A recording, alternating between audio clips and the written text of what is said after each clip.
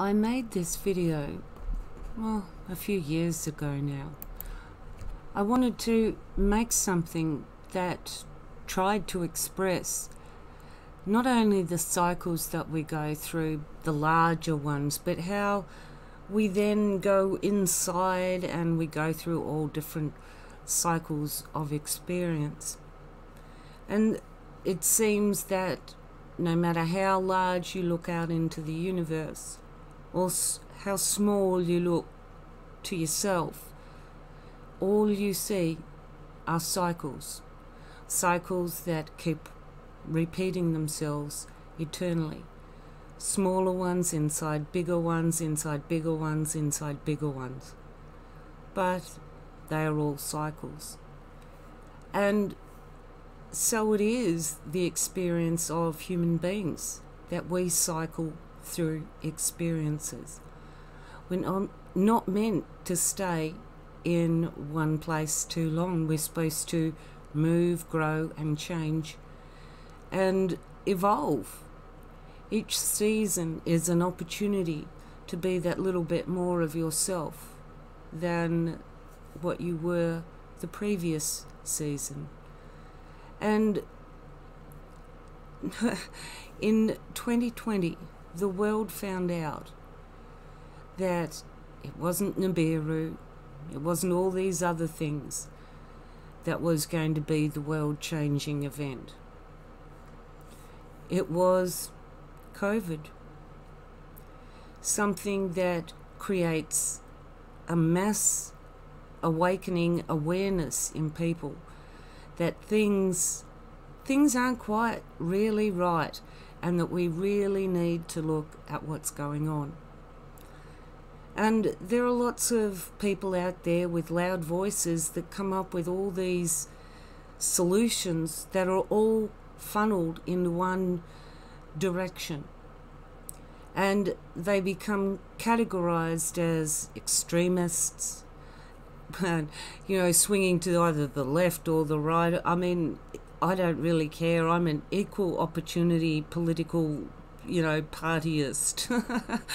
I'll put you on either side of whatever label they want, you know, to put you in in society.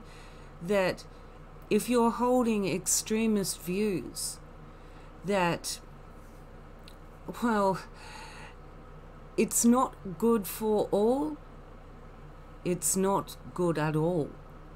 I mean, there are simple philosophies that you can live by that aren't written down in any laws, that it's just common sense. That when you experience enough things in life, you realize that, well, every time you get comfortable, something's going to happen that'll shake it up.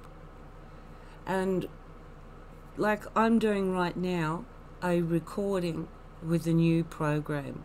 I've been using this old crappy one for ages, and not only does it do a much better job, it stays in sync, but instead of making it a 2.3 or 5 gigabyte video, it's about 300 megabytes. So the ease of using it, and all I had to do was just evolve, change. Not that I had to stop doing a particular thing, just check out something different to see if I can actually benefit from that something different. And of course, when 2020 came out, there were lots of different people coming out with lots of different opinions. And within a short period of time, I also realized that there was a polarization happening in these groups that I felt uncomfortable with. And I was going to attend the first Freedom March or whatever that they had, but then uh, they, there was just something wrong with it. They didn't have anything organized, and you know, I watch. I don't watch TV. I use the internet, and I've watched things that are like Big Brother and oh, what's that one in in the UK? Uh, the Circle. And you start to look at how much people become invested in becoming influencers. And yet these people are not even playing themselves. You know, they, they're playing a character. And they're saying things that are going to win friends, get likes, and make them an influencer. Well, the thing is that really, if you are an influencer, you're actually saying what everybody wants to hear, not necessarily what people need to hear, though. And in 2020, the world found out that that kind of empty conversation for the from the influencers was disorganized. They didn't have a clue what they were doing. And I suppose that there are probably millions of adults in Australia that realised, and probably the world, that how much of what goes on and how, you know, like what they came out with all their marches and everything, how that's representing a growing discontent in society. Yet, it's not the majority of society. And there's still people like Max Igan who are saying, oh, well, you know, people aren't waking up. How could people line up for the vaccine? Blah, blah, blah, blah. And it's, it's like, on the one hand, they're saying it's massively red pilled the whole world. And on the other hand, saying that, you know, everybody's, I can't believe how many millions are so stupid and they're still asleep and why don't they wake up? Because you know we're screwed. You know if you listen to people like max Igan uh, and so many like him that all they do is tell you how you're screwed and how that there are limited options that they're offering that they can try and help you. But this is where all the alarm bells start you know they they start getting raised for me and for others out there because we are not waiting for people to provide the answers for us. We will listen and hear the answers ourselves. And when we hear people talk, there's these little alarm bells that go off because I don't know something they just said, you know that they're they're pretending to be this one thing, and yes, they're selling a lovely story, but you know, there was just something, that little something that they might have said, or the way that they said something, that all of a sudden broke that trance that you were in while you were watching them. And you asked a question in your head that didn't make sense. Why didn't that make sense? Now, there are too many people out there that are loud voices and are controlling the alternative voices. Max Igan is one of them. And I'd say that Pete Evans is trying to buy his way into a lot of that too. And then there were all these others that when the lockdown in Victoria happened, they all came to the forefront. And it all it seemed like there was this lockdown and then there was this opposition to it.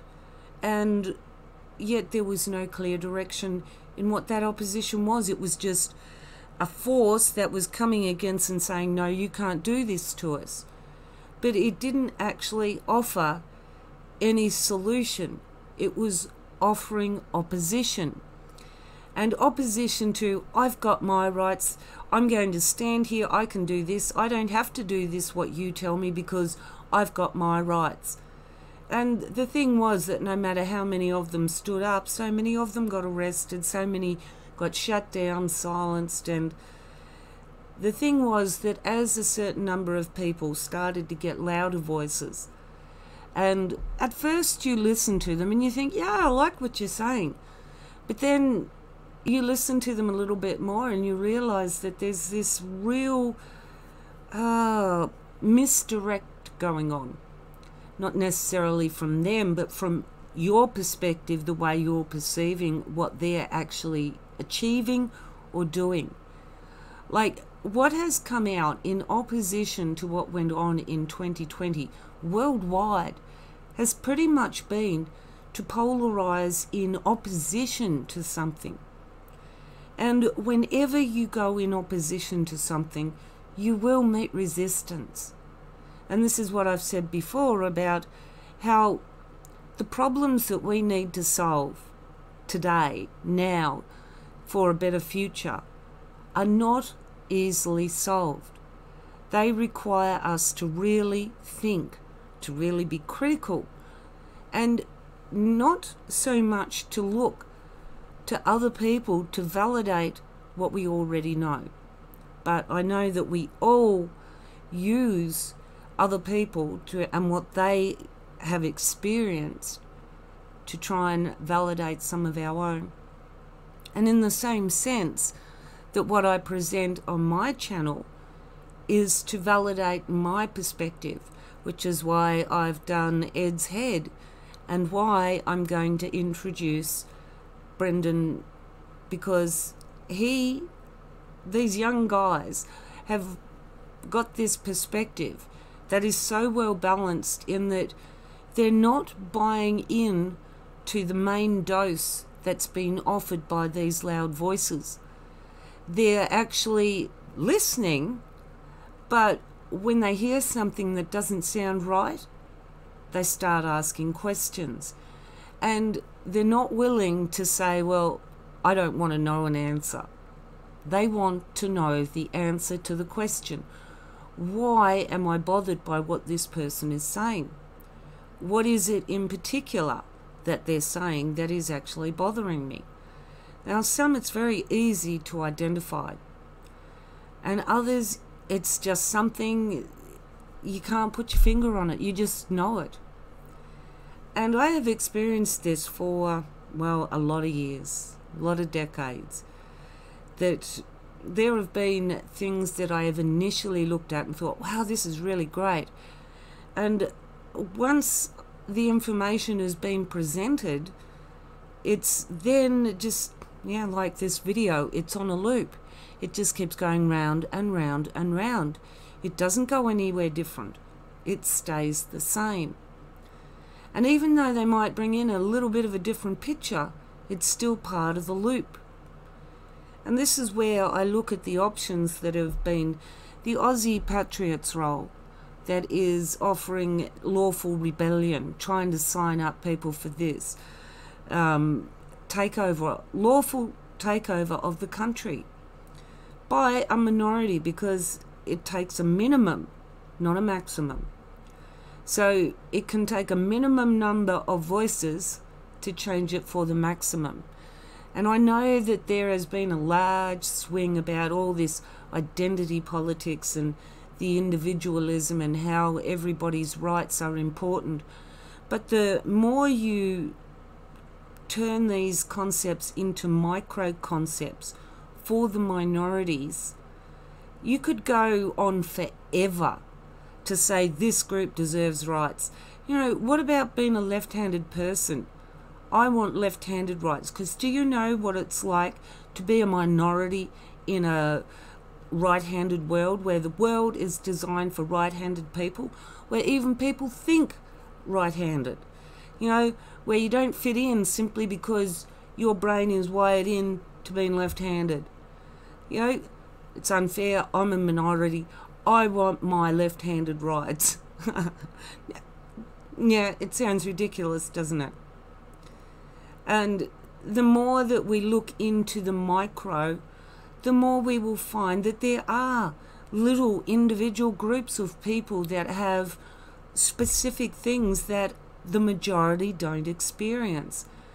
But it, it shouldn't be that the majority have to act because of the minority.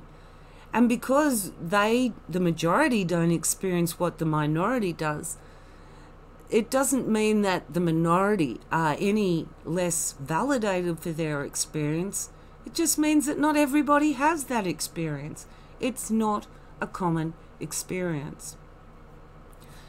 Now, any human being on this planet could take anything specific about their life and create something that they are a minority in.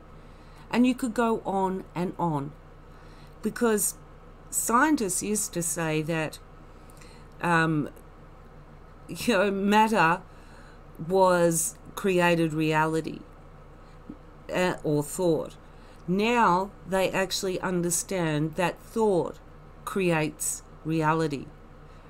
So even when they're smashing those little things in the Hadron Collider, they know that they will never get to the point of a definitive end point of where they cannot go any further.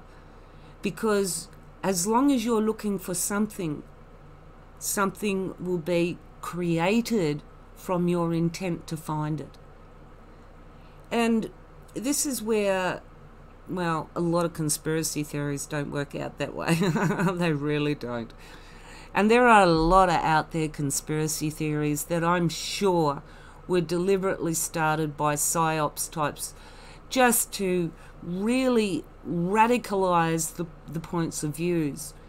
Like, if anyone cannot even see that flat earth is a psyops, we know that Scientology is. There is so many things that have been manufactured to distract us from understanding the broader sense of our own existence and how we as individuals in the now have have the only opportunity to build the future is in the choices that we make now.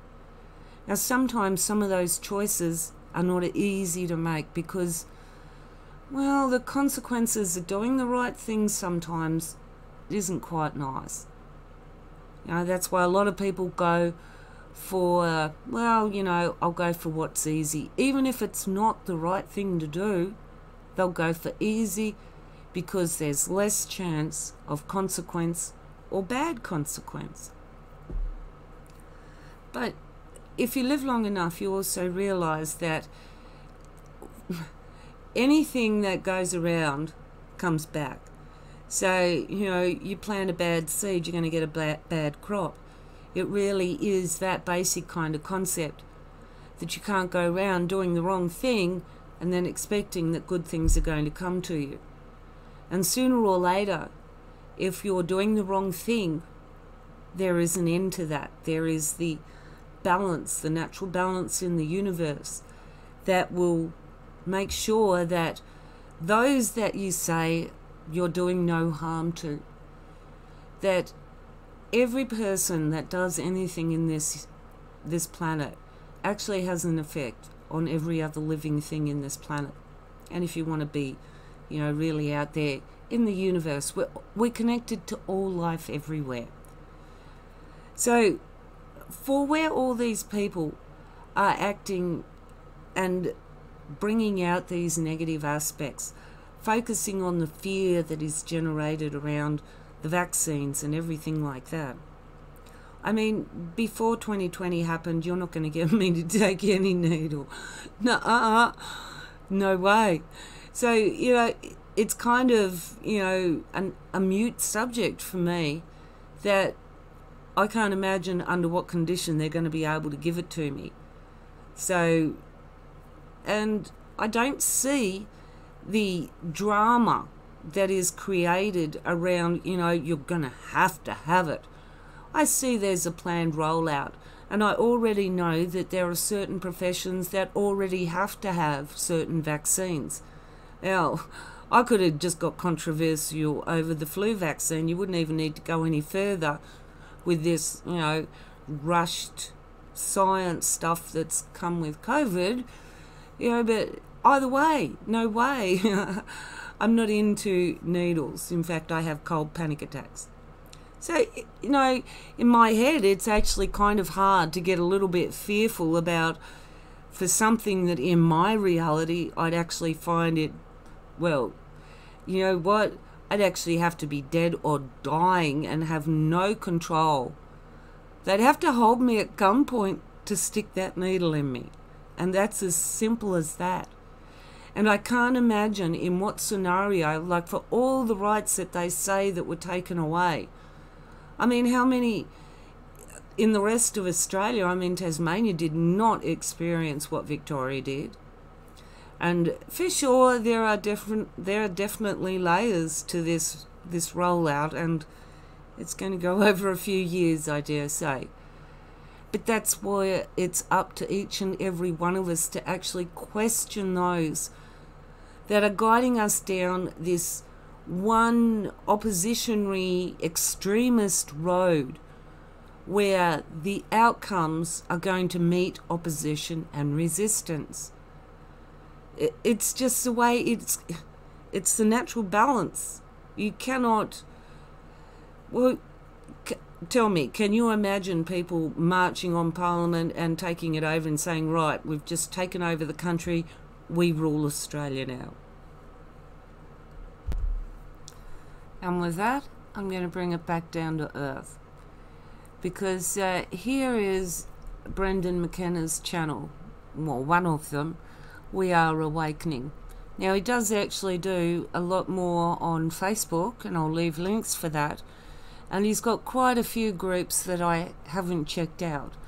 Because um, sadly, I'm one person and there's not enough of me to do all the things that I want to this is something that I have been keeping an eye on because this affects all people in the decisions that we make that guide the future. And I've talked about controlled opposition, and Brendan actually talks about it as well. And he's actually bringing up some very valid points. I'm going to upload because I did ask him if I can share these on my channel and he said, yeah, that'd be great. Thank you, Brendan. And I'll leave a link for this channel too. And go to his Facebook page and see what other things, because he's got a whole heap of stuff there and links to other places where you can get information. He hasn't uploaded much here, but I'm going to upload these three because uh, in this one here, he actually makes a phone call, a very interesting phone call. And I think it's all something that we should all listen to because Brendan wanted to know what level of police involvement these protesters had. And the, well, I won't tell you, I'll let Brendan ask the questions in the phone call and also too listening to the conversation that Brendan is having with who is clearly a police officer it's just two guys having a chat and talking about things there is none of this you know fear doom and gloom kind of and that's the thing we have to realize too is that if the system's not working it's not working because it's made up of the people it's made up of. And people like the police department have bosses, they have rules to follow. And whether they like it or not, they have to follow the rules. And they have got a job to do. Yes, they have got a choice, they can quit. but then what happens then? You know, some some police are actually out there actually are trying to make a difference. They're not all corrupt and trying to, you know, do this, that, and the other and be nasty to people. And the very interesting thing that Brendan does bring up is that these protests were done with cooperation from police. And it, well, as I said, I'll let him explore those possibilities. Because we do need to start looking at the people involved. We need to look at people like Ricardo Bosi that are, well, he deals, Brendan deals with him in, which one is it? Controlled Opposition.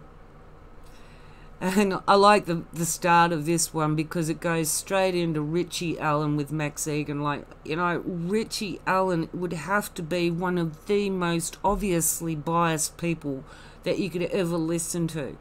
When I listened to how he treated Max Igan and let Max Igan tell his story and how he attacked Ken O'Keefe and what a jerk he was, you know, it was so clear that he is protecting Max Igan.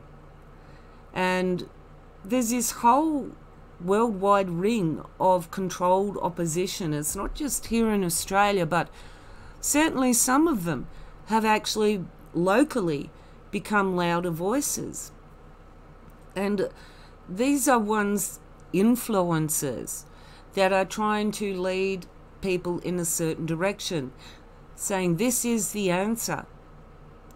When, you know, I think some people, if they actually had a little bit more opportunity to find out more information about what happens in certain situations, they'd realize that, well, the outcome of any time that there is a revolution, a resistance, there is always the outcome of violence. there is generally death, and it's, you know, food supplies start going astray, and, you know, all these things start going wrong for human beings.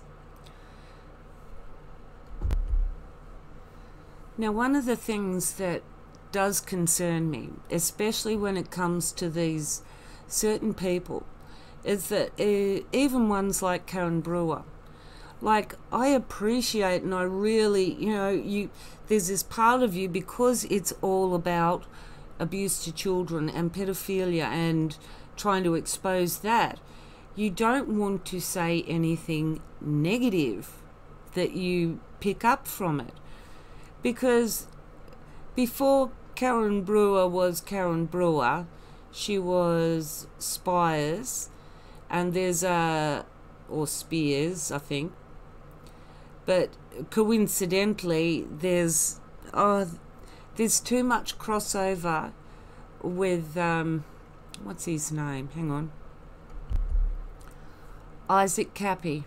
Yes, you follow some trails, and they lead back to certain people, and like. Uh, there are some people that I've looked at and I thought, wow, these people have been through something. But then there are other people, it's like, well, what are you trying to achieve? Like, I understand that you know that these things are going on, but there seems to be no personal experience.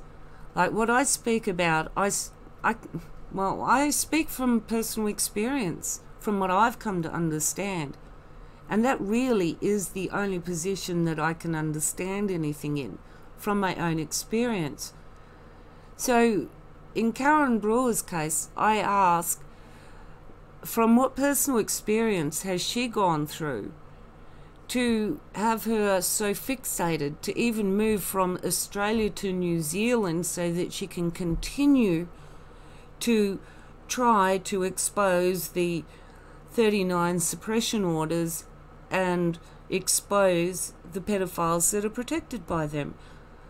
Now, of course, these are important things that we should know in society, but the way that it's come into 2020 is that, well, well, fixing, bringing out those, you know, getting rid of those suppression orders, will that fix what's wrong in society? In one stance, you'll go, well, yes, because it will show us that certain members of parliament have been protected and they shouldn't be there and case proven. But in realistic happenings, that's actually not going to happen. The only thing you can do is understand that these things do occur and then start to move forward and change it so that the people that we've got representing our system have got better moral character and that they certainly are not allowed to be in positions where they can abuse the trust given to them. Now, you might want to say that everything that's happened in 2020 and around the world is the government's fault and it's all the government's fault they've done this to the people. Well, what people have to actually remember is the government represent us. For better or for worse, our system is it is made up of people, all right? People. So, it, you know, for all the the parts of our system that don't work, its ideals are there so that it can be better and it will work better for people, so that there is equality. But the people that we allow to get into politics and government are the ones that have moved things in a different direction from really what a lot of us would like. Because let's face it, we could organise a society where we all contributed and we don't need to pay to live somewhere. We don't need to pay for all these things that we as a community create, we enjoy the benefits of, and we are not constantly paying profit for the privilege of being born on this planet and having to pay in some way to exist when it was our birthright to have it for free. And ultimately, working towards a society in the future where any human being born into this planet is, does not have to work every day to pay for their accommodation. It is their birthright. Food, water, and shelter are their birthright. And from there, your right to exist as an individual human being, as long as it doesn't interfere, interfere with the rights of others, with the rights of the community. And if you do want to be a little bit different, well, go do it where you're not affecting the majority. Just do your own thing quietly. You know, it's like with all this fuss about gender identity and sexual preferences. Who cares what goes on behind closed doors? It really is nobody's business, as long as it's between consenting adults. So, why do we have to bring what belongs in the bedroom between consenting adults out into the public arena and have a discussion about whether we are actually men or women or whether there's uh, other genders. And then to make laws about, well, you can't call me Mr. or Mrs. or Miss or anything like that, or him or her, um, because there's this whole string of pronouns now that you've got to. You can be actually like I could had be had up for calling someone mate. Mate to me is a generalisation. Like, you know, oh, how's it going, guys? Guys is a generalization, you know, it's human beings, people. And this is the thing that I can't understand with all these sovereignty and identity politics, too, is that they talk about that the person is the one that doesn't exist, but the individual is the real person. But I'm thinking, hang on, isn't it that most people actually understand that the word person indicates a real living being? Because if it didn't represent a real living being, we would not say a deceased person.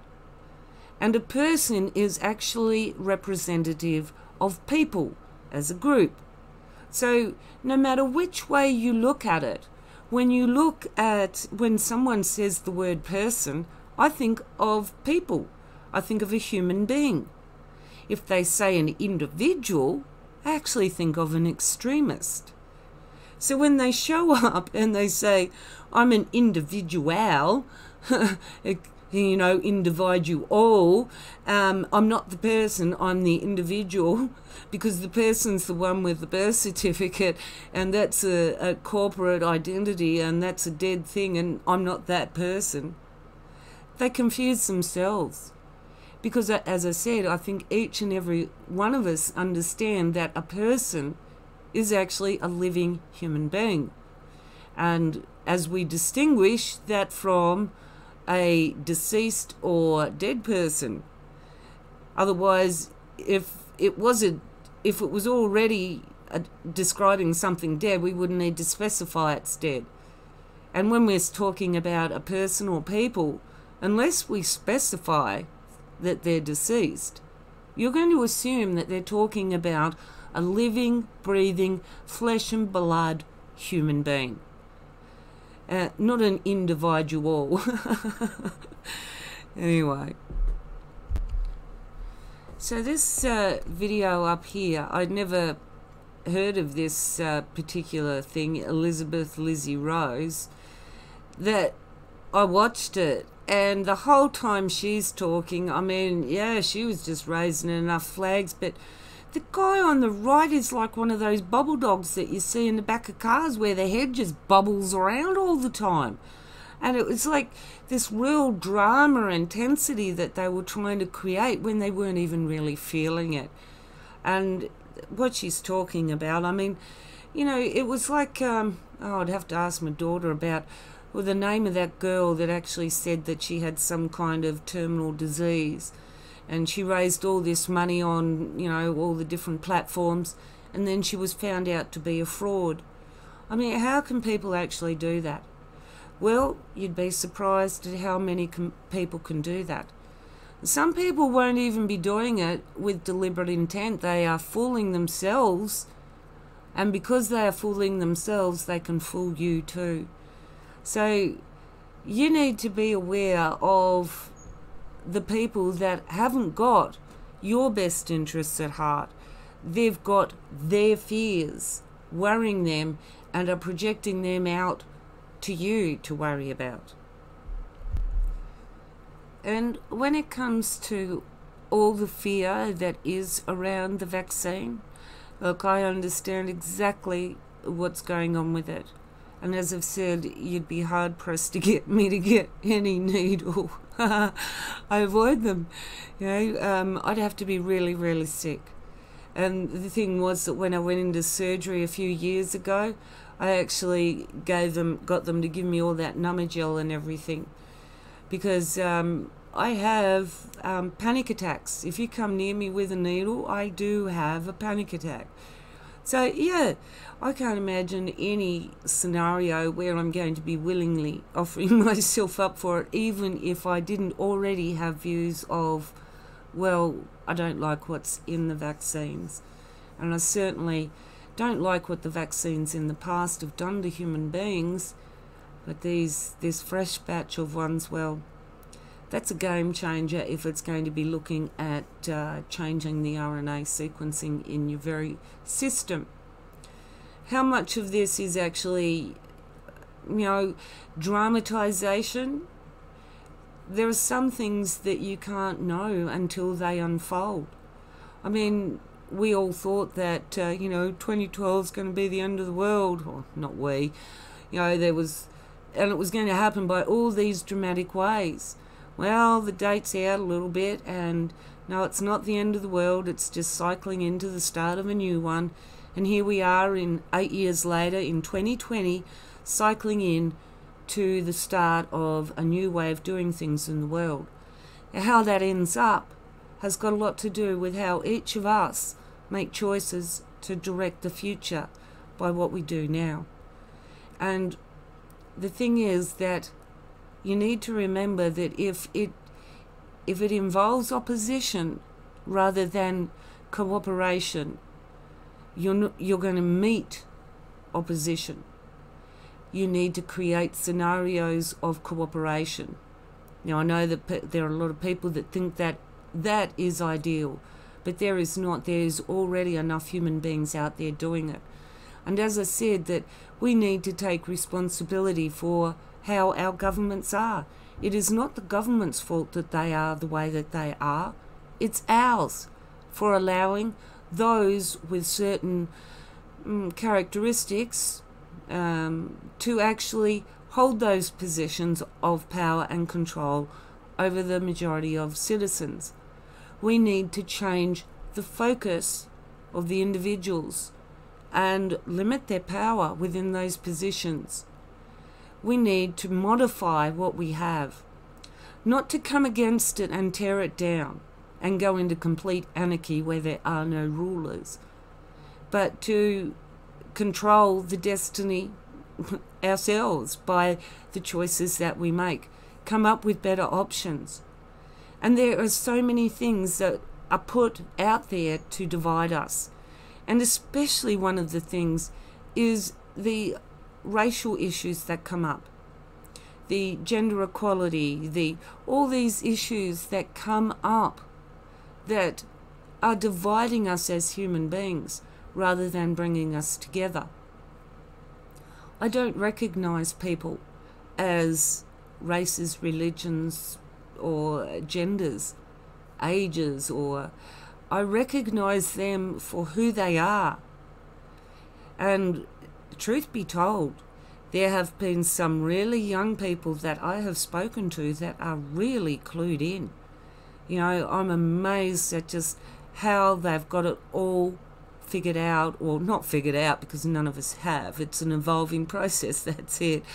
But how they've got to a certain stage of understanding certain things, whereas other people are, well, like Fenos here, rah, beating their head against the wall, coming in opposition, saying we must do this. You know, I'm the one out there that's doing this. What are you doing? Because I'm out there putting my life on the line and you're not doing anything, so shut up and leave me alone. Well, he didn't achieve much, did he? And that's the point, is that you butt against something, it's going to butt back. You need to find better ways to deal with things. And surely we do have enough history to look back on to actually look at the possible outcomes for certain actions. I mean, one of the, the biggest, I remember the French Revolution was something that we had to study a lot of when I was in high school. And uh, oh, I thought about all those people that got guillotined and had their head chopped off. That was just such, you know, if you're going to kill me, you know, I thought, nah, that'd have to be one of my worst ways to go, I think, is to be guillotined. It might be quick once they get up there and they chop your head off, but you know, I think, yeah, lethal injection might be better. Maybe that's what they've got planned with the vaccine. that's what it seems like to me, is that uh, it, it'd be under those circumstances if Australia had capital punishment that they'd have to, that they'd actually be able to force a needle into my arm. And on that, I'm going to finish up now. And I'm going to upload Brendan's videos. Have a listen to them. He's got some, well, this one here, he actually is talking in it. And so he is in this one too. He has some really good things to to th to think about. You know, he says some things, uh, well, better than what I can. So if you listen to him, you can get it heard better than what I do because I beat around the bush a lot sometimes, don't I? I'm not as clear as some people. This one here is a lot of video um, thumbnails, uh, screenshots, saves. He's clipped it together uh, as a presentation. If you want to really explore the information that is presented, uh, you need to pause it and read everything as you go through. He's only got background music going, so you're not going to be missing out on any vocals. It is designed that you stop and read it. Actually, someone in one of them said, oh, this is too fast, you can't read. And it's like, oh, you poor person, it's called the pause button. anyway, I said I was going to finish it, and so I shall. I'll catch you next time. Bye.